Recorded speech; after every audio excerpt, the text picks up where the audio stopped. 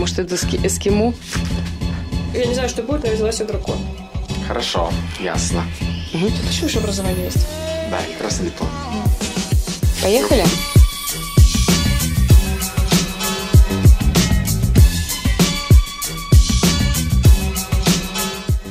Друзья, Miass Live пробует. Выбрались мы первый раз в этом году. И это мастерская сказкотерапии у Анастасии Матушкиной. И что это такое сказкотерапия? Вот прямо сейчас будем узнавать и пробовать на себе.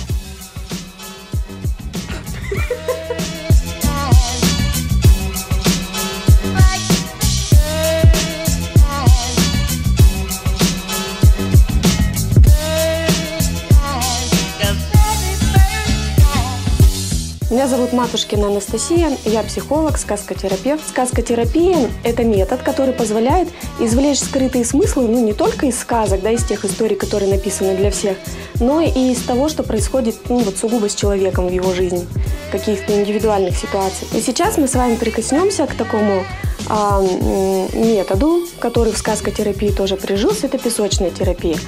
А работает этот метод по принципу взаимодействия с подсознанием.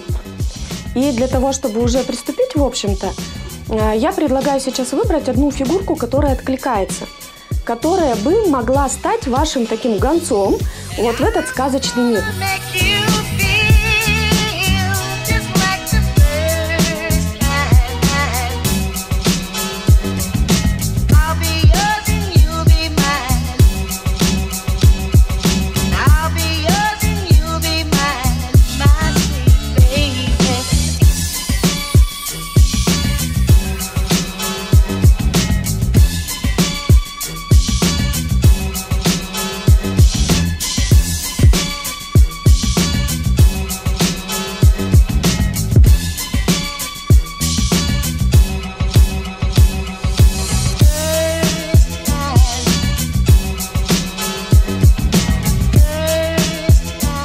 У меня в руках дракон, потому что я люблю драконов.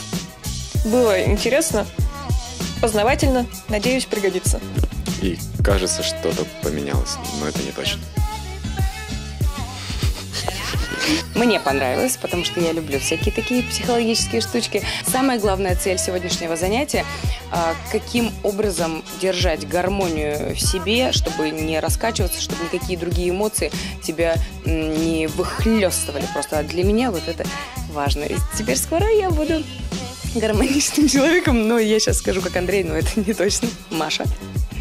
А, я, нес- несмотря на то, что мне показалось, что мне сказали э, четче всего, объяснили, но я меньше всех поняла. Буду думать. Будем думать. Э, Miass Live пробует.